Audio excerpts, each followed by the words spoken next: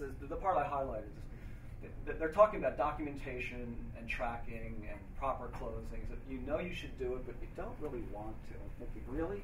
This is a business they're trying to build. They're trying to tell you, well, there's things you have to do, but you don't want to do them. But I'm thinking in our business, you know, we're heavily regulated. We dot the I's, we cross the T's. Wanting to doesn't really enter into the picture. So I didn't, I didn't find this particularly helpful. I thought it was uh, in, in instructive that there's a group out there that's talking about virtual operations, and when they're talking about it, they're clearly talking about something that doesn't resonate with me. So, for the purpose of, of looking at, say, distinguishing outsourcing and a subset of that virtualized operations, the things that I really, uh, you know, everyone knows about outsourcing, typically in my experience, it's all about cost control. Uh, and there's the, general perception that outsourcing is somehow intrinsically good. And, um, I would say sometimes it works out, sometimes it doesn't work out. And I think perhaps some of the reason is, at least again in my experience, um, there's, there are things missing from the thought process that leads up to the decision to go outsourcing and how you choose a partner, et cetera. For me, when I think about it, these are the things that drove um, my decisions about what I'm trying to accomplish when I'm thinking about virtualized operations. Now, obviously, there's some there's headcount flexibility. Sure, that's that's common between the two, and not too surprising. But my focus really wasn't on cost per se. The focus was how do I apply the resources I have available to meet business objectives most effectively, and uh, that really talks about predictability. Um, and when I talk about business focus in this particular case, it's internal. So we talk, you've heard other people talk about core competencies. Um, this was an opportunity for us to think about what is it that we do well, what are the things we want to do well, and what are those parts of our business that um, may sit outside of that, and those are really good candidates for them looking for partners who do that well, maybe better than we can do it ourselves. Um, and better um, is, something we can learn from, and I think that's one of the things that maybe goes unstated. Um, we do, you know, these my, my companies that I've worked for, we do some of these things really quite well, the full spectrum of biometrics related activities. But I think we can always learn from people whose core business is, is to do that. So some of the, the key elements of, of this. Um, and for me, alignment of interest between the sponsor and the service provider is something that is often missing in what I would describe as typical outsourced operations. In fact, they're often uh, at odds with each other. If you think about you know, late phase studies and what have you, let's say clinical operations or data management, if we're outsourcing that, it's the service provider wants the biggest study possible to go as long as possible to maximize revenue.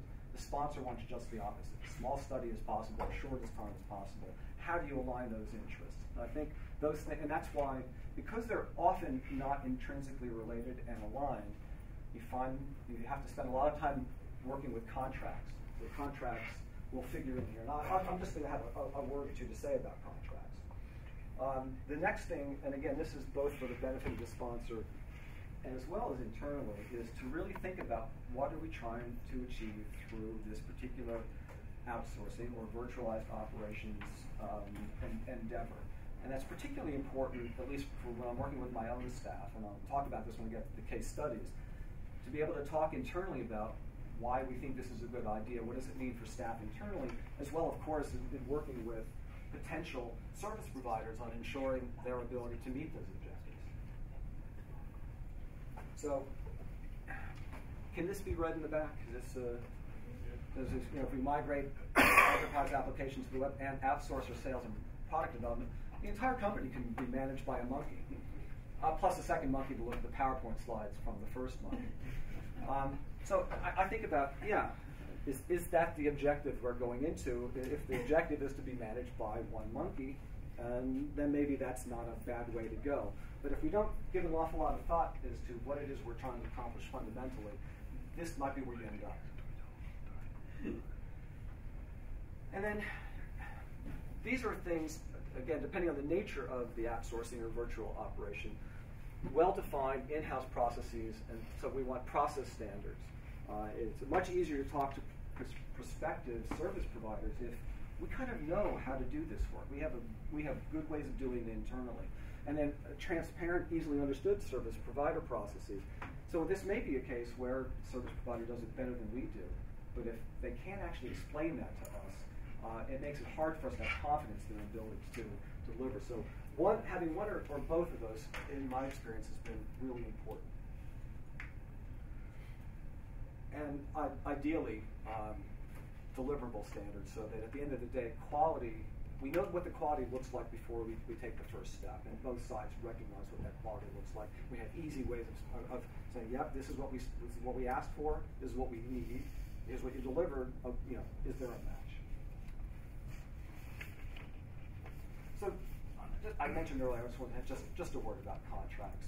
Um, and this one's a little bit longer, so again, I don't know if it's visible in the back, but it, the, the pointy-haired manager says, is there any risk that the new software will erase our payroll data? And of course, I don't know. Well, did you ask the vendor that question? Well, no, and so, so you can't be sure. Well, you know, we outsourced the payroll service. The payroll data isn't even on our servers isn't everything connected to everything else on the internet? So, you want me to ask the vendor if his software will hunt down our payroll data from across the internet and try to kill it? And you think he might say yes? Better safe than sorry. The last thing goes, now here's the vendor. Yeah, sometimes it does do that. You're the first one to ask. so he says, you know, shoot me. So you know, for me, again, this gets to the issue, and I don't know if you heard this at some. In my experience, contracts tend to be much more important in the generalized context of outsourcing than in virtual operations. As I said earlier, to the degree you're able to sort of link the interest of the sponsor with that of the service provider, you find that contracts still remain important, but they're not they're not necessarily key. Um, that is to say, you, you, you develop this, this sense of trust. And which brings me to to the whole reason I structured the talk around trust. I think you know ultimately when we make a decision to hand our baby, whatever it is, in, in the case of one of the case studies I'll get into in just a second, um, you know, a big chunk of the NDA. This is the part that is most difficult to achieve. It's the thing that is often never discussed explicitly and never looked at and in my experience in getting into these sort of relationships, uh, it's it's critical. This is for me the critical element because ultimately, if you're spending all of your time monitoring, you're not going to be realizing the cost, and that that is going to be a difficult relationship to maintain over time. Which, I think we're okay.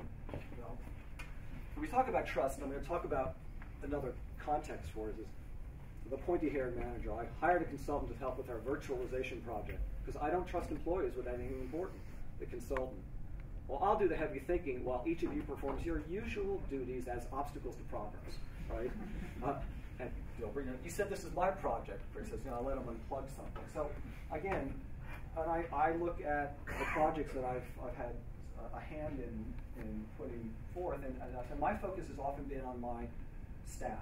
How is it affecting my staff, and how do I get them to sort of embrace and support it and what have you, to have their trust that this is actually makes business sense, it's good for their careers, sort of good all the way around. As you see, often often missing. So let's dive into the, the case studies. Um, these are fairly quick.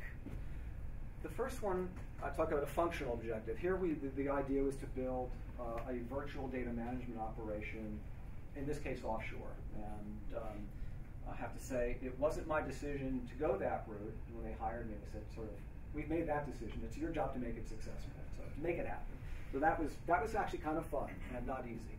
And the next one was deliverables objective, and this takes us very current. This is actually I'm, why I'm here today, and it has to do the request of the, the folks that Take Solutions, because that's what we asked them to do.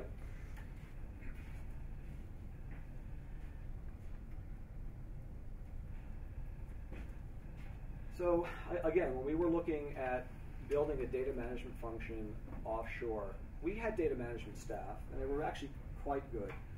Um, we, we, though we were doing lots of studies, and our costs from year to year were all over the place. Depending, did the study go forward? Was it canceled early? Et cetera, et cetera. We wanted to be able to do some cost predictability over one year and over the course of the contract, which was a five-year contract. So that was one of the objectives. And again, so it wasn't necessarily cost management or